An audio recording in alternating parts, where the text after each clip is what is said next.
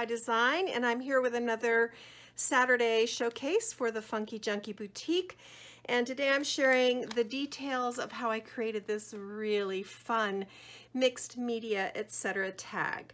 Um, this thing is huge as I'm sure you can see here's my hand here's the tag I love the size of these tags so very quickly before we get started I used a Tim Holtz small, etc. tag. And yes, believe it or not, this is the small.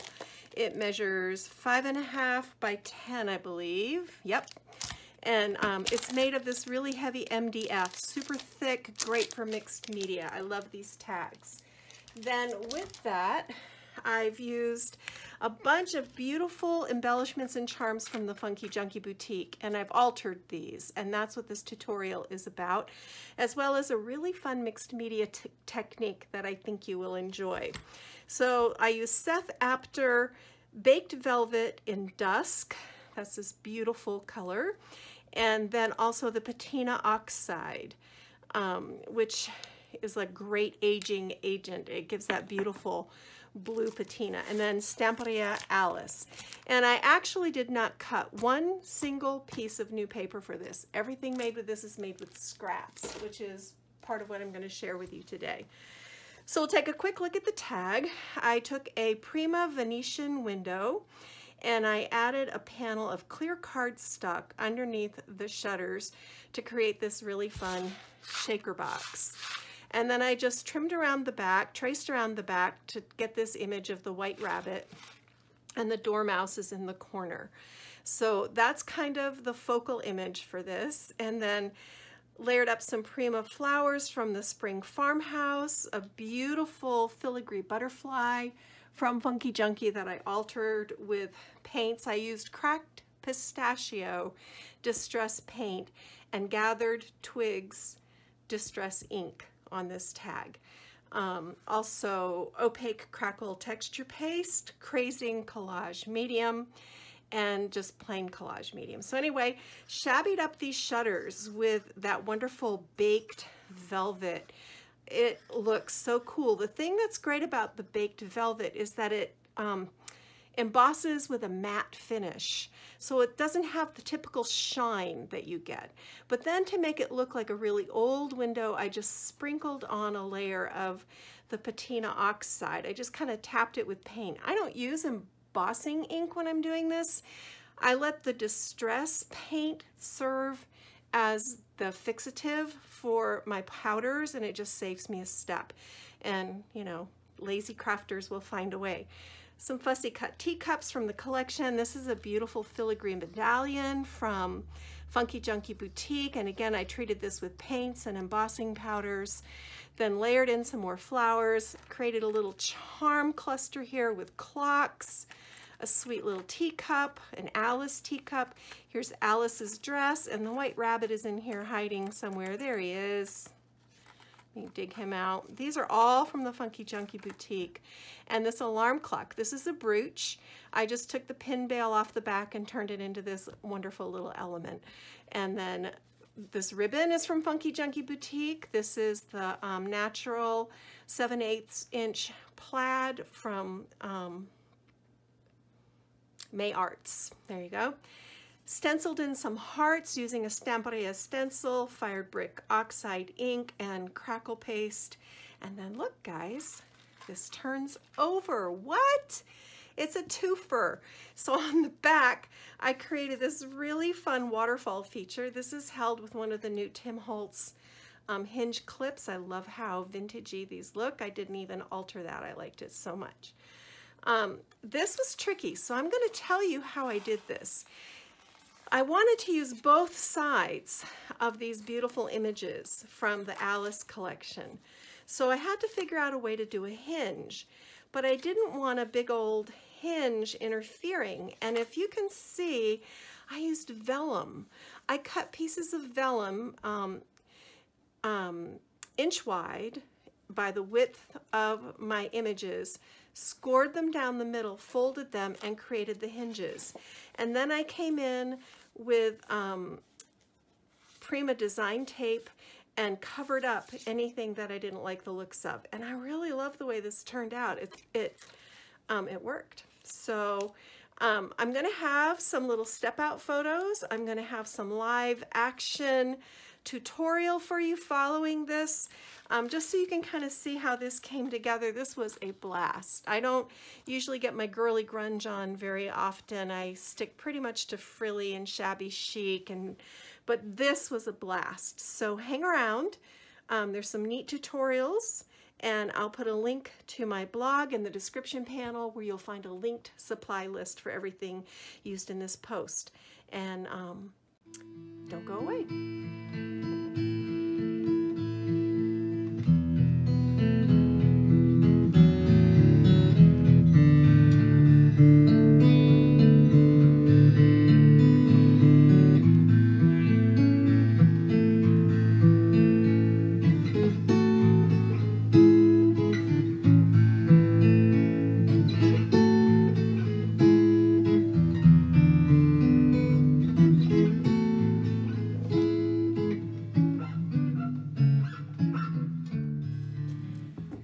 So we'll just talk a little bit about how I started this. Um, I've got a couple, I shared a couple of little process photos where we painted, then we added the Seth Apter embossing powders, and then I cut this um, five by nine and a half inch piece of craft cardstock and just adhered it. Cut the hole punch, and I did this on both sides. So now this is what I wanted to show you. Um, you know how you have a favorite paper collection for me lately? It's been Stamperia's Alice. Well, I have all these scraps. They're not big enough to do cards. They're not big enough. I mean, they're just pieces. So what I've done is I've distressed all the edges and then inked them up with gathered twigs, distress ink. And now I'm going to take some distress collage medium and we're just gonna see what happens. This is just, we're just collaging and we're just gonna put these down and start building up layers and use up all these little scraps to make kind of a cool background. So I have no idea where I'm going with this. We're just gonna work and layer and see what happens.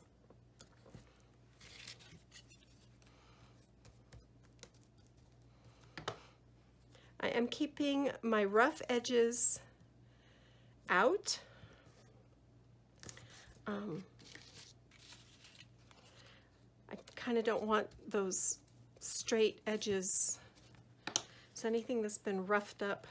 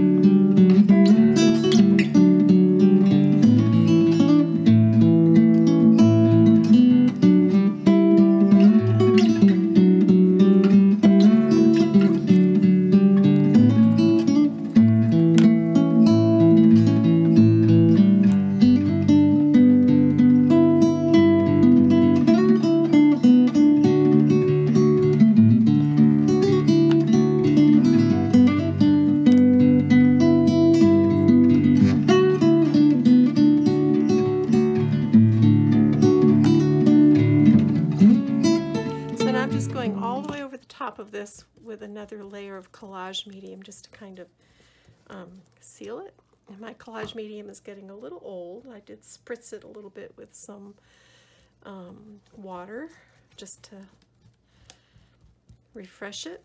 But you can see that didn't take very long. And now we've got this kind of cool, layered, grungy, but not too grungy background going on.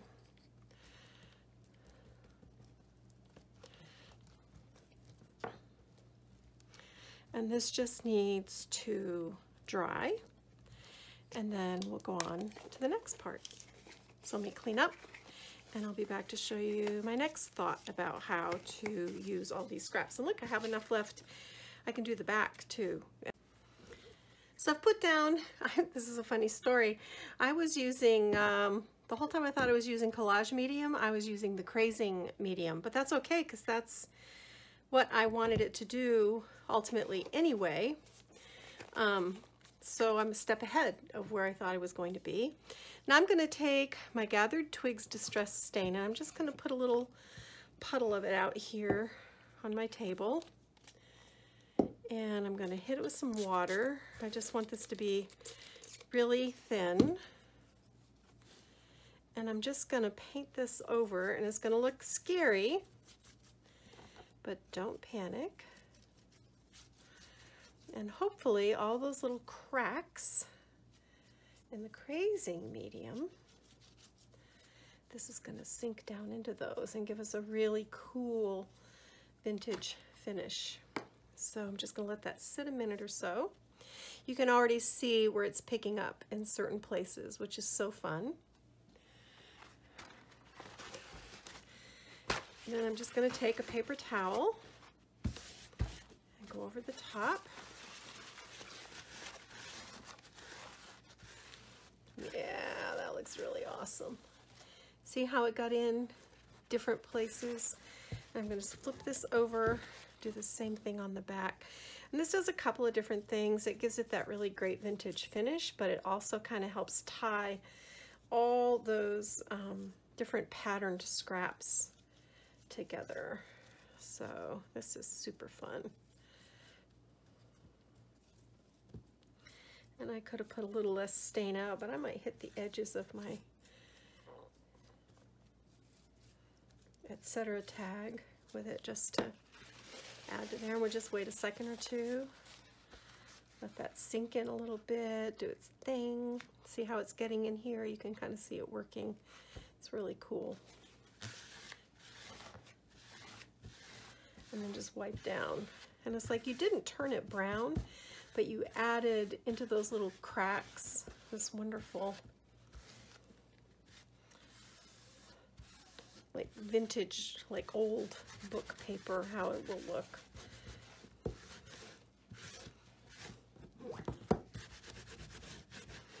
So I'm pretty happy with that. That's good.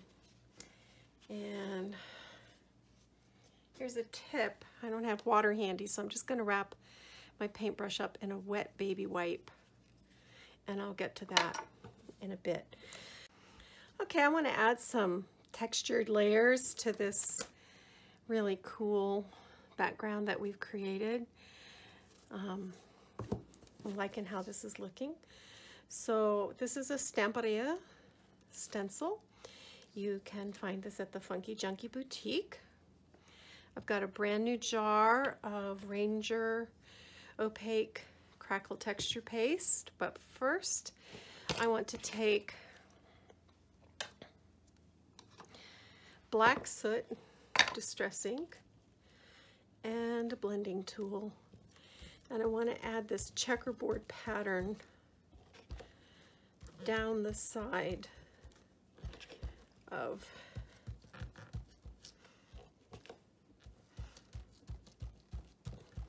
my etc. tag.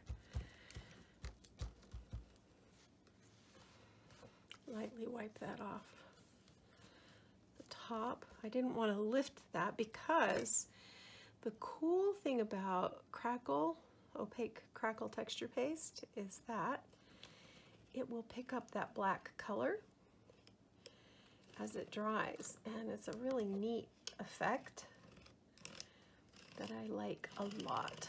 So I want that, I didn't want to, I didn't want to have to reposition this after, oops, I just put my fingers, I'm such a messy mixed media crafter, guys. Those of you who are pros probably shudder as you watch me because I am definitely not a pro, but I like to mess around with it, so clean up that edge.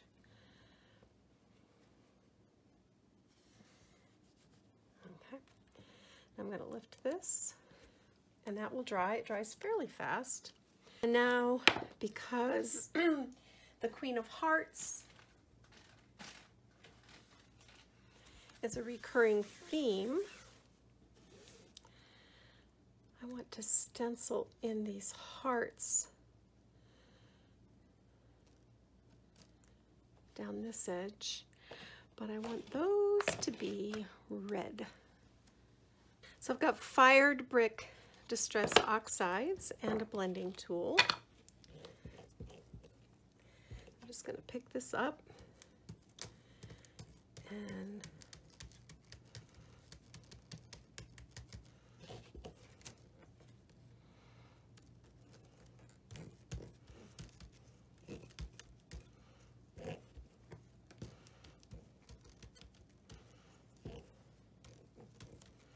get really good coverage over um, mixed media.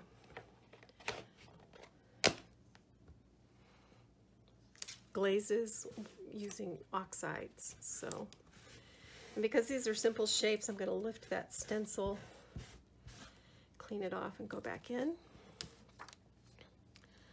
Line it up. And now we're going to take this crackle and we're just going to fill in these hearts. And as it dries, it'll pick up that color, which is so neat.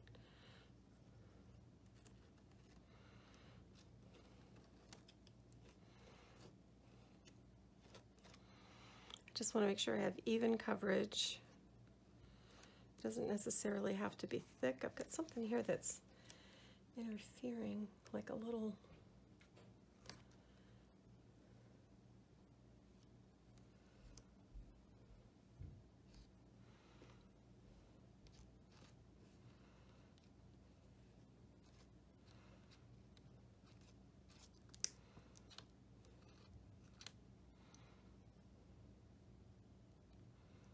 There, that's better.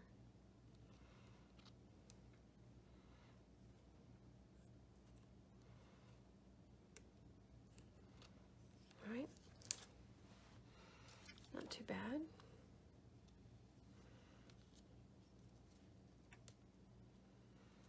Up the edges. Set that aside to dry.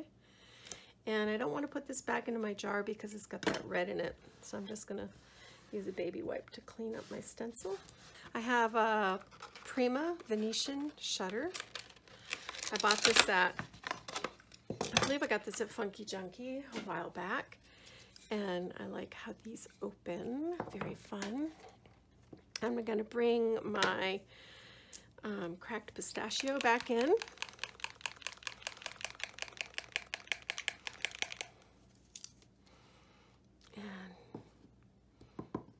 Oops, that's way more than what I need. Just want a little. It's, I always forget how thin this paint is. It's very fluid and because um, it's water-based, so I often, more often than not, I end up with more than what I need. Messy mixed media hands, sorry guys, but that's how it goes. So I just want to brush, like just I don't want them to be green, but I do want them to have just that color on them to tie them in with everything else we're doing. And now this is, while it's wet, I'm going to take, put on a piece of paper, and I'm going to take my baked velvet, sprinkle it over I've never done this before. We'll see what happens. Could be great, could be a disaster.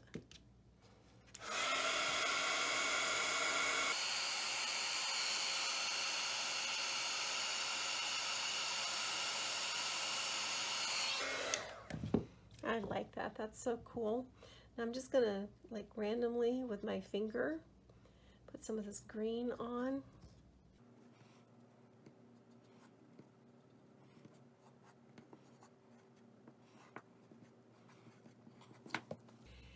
And I'm just going to sprinkle this patina oxide over those wet areas to give this the look of a very weather-beaten old shutter. I'm excited about this. I have no idea how it's going to turn out.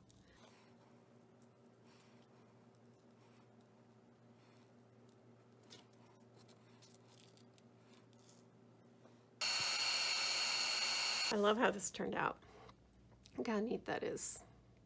Can you see the mix of the the paint with the wood with the um, vintage patina. It's a really neat look. So that's what it looked like before we did anything and that's what it looks like now. I think this is really cool. Here's our shutter and I traced around the back edge of it onto this scrap and got the white rabbit and the dormouse. Then I cut a three and a quarter by three and a half piece of clear acrylic cardstock I adhered the image onto the back of the shutter. I filled the shutter with these sequins that I thought went really well with the colors I'm using.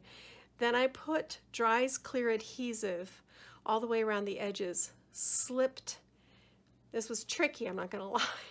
I had to slide it in underneath because these shutters move and it's still drying up, but I think we can work with it without creating a problem. Um, it's important that you use an adhesive that dries clear Okay, guys, here goes nothing. Ooh, that was scary. I'm just to put this along the back. This is really strong glue. It sets up quickly. Ideally, I usually use my heat gun for this, but my glue isn't hot yet, so this will be just fine. And I'm handling this carefully because really um, that window pane needs more time to set up, but patience is not one of my virtues, so I'm kind of rushing it along. So isn't that cool? I love how that looks. Now we're finished. I love how this little tag turned out. The finishing details after I added the, sh the shutter shaker were these Prima flowers. I added in all our little embellishments that we altered earlier on. Um, these are just looped under the bow and um, adhered with glue. This sweet little clock, I just love how this turned out. Filled it with a punched image from the paper and then put the cabochon on. That's Funkie Junkie Boutique. And um, just super shabby, kind of a little bit grungy, a little bit shabby chic. I think the details in this are super fun. So I hope I shared some tips and tricks that you can use in your own crafty adventures. If so, I'd love to hear from you in the comments section below. If you haven't subscribed to my channel, I'd love to have you along for the journey. I like to share lots of new ideas and techniques and tips that um, help you grow in your crafting, even as I'm growing every time I pull the paper out. So thanks for joining me, and I'm gonna go get my craft on. Bye.